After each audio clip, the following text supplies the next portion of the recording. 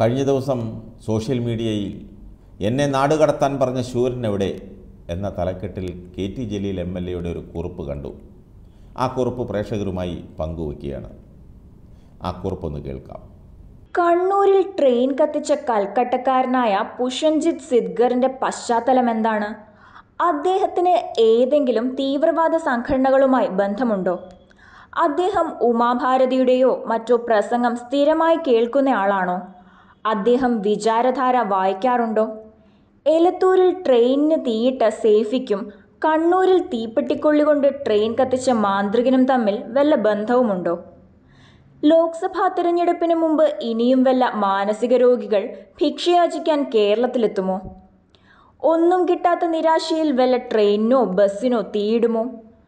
കേന്ദ്ര ഏജൻസികൾക്ക് പറന്നെത്താനാണോ ട്രെയിനിന് തന്നെ മാനസിക രോഗികൾ തീയിടുന്നത്? കണ്ണൂർ ടൗണിൽ ഭിക്ഷയാചിച്ചിട്ട് ഒന്നും കിട്ടിയില്ലെന്ന് പറഞ്ഞത് ഒരു നിലയ്ക്കും വിശ്വാസയോഗ്യമല്ല.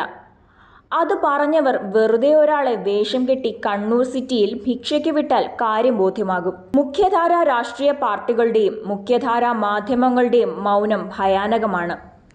നിജസ്ഥിതി പറയാൻ എല്ലാവരും മടിക്കുന്നു അല്ലെങ്കിൽ ഭയപ്പെടുന്നു. രണ്ടിലൊന്നുറപ്പ്.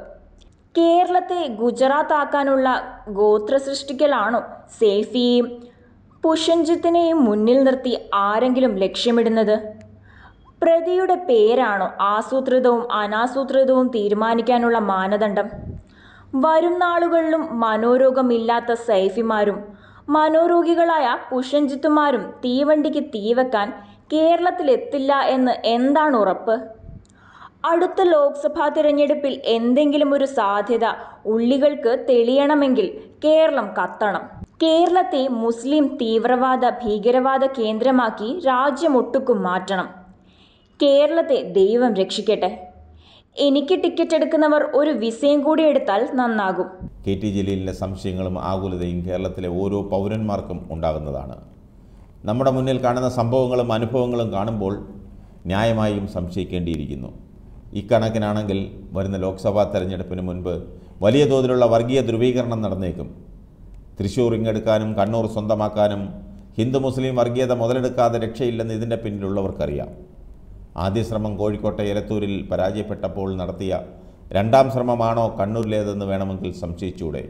ഇടതുപക്ഷത്തെ തകർക്കാൻ എന്തും ചെയ്യാൻ തയ്യാറായിരിക്കുകയാണ് ബി ജെ പിയും കോൺഗ്രസും. കേരളത്തിലൊരു ഗോദ്രയുണ്ടാക്കി ജനങ്ങളെ ഭിന്നിപ്പിച്ച് രാഷ്ട്രീയ ലാഭം കൊയ്യാനുള്ള നീക്കമാണോ എന്ന് സംശയിക്കേണ്ടിയിരിക്കുന്നു.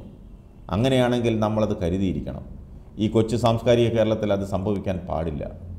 വർഷങ്ങൾക്ക് മുൻപ് താനൂരിൽ ശ്രീകൃഷ്ണ ജയന്തിയോടനുബന്ധിച്ച് ശോഭയാത്രയ്ക്ക് നേരെ പ്രയോഗിക്കാനിരുന്ന സ്ഫോടക വസ്തുക്കൾ പോലീസ് പിടികൂടിയിരുന്നു.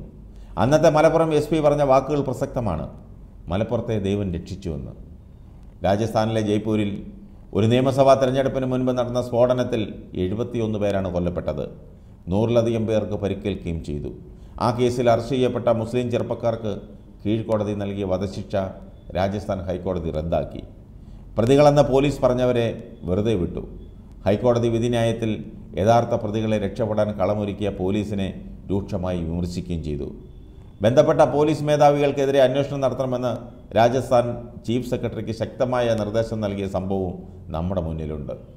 കണ്ണൂർ ട്രെയിൻ കത്തിക്കലിന്റെ പശ്ചാത്തലത്തിൽ ഇതൊക്കെ മാധ്യമ ടാക്കൂർ സേനയുടെ മനസ്സിൽ ഉണ്ടാകുന്നത് നന്നാവുമെന്നാണ് കെ ടി ജലീലിന്റെ അഭിപ്രായം. ഏതായാലും കേരളത്തിൽ ഇനിയും ഇത്തരത്തിലുള്ള സംഭവങ്ങൾ അരങ്ങേറരുത്. ശക്തമായ നിയമ നടപടികൾ സ്വീകരിക്കണം.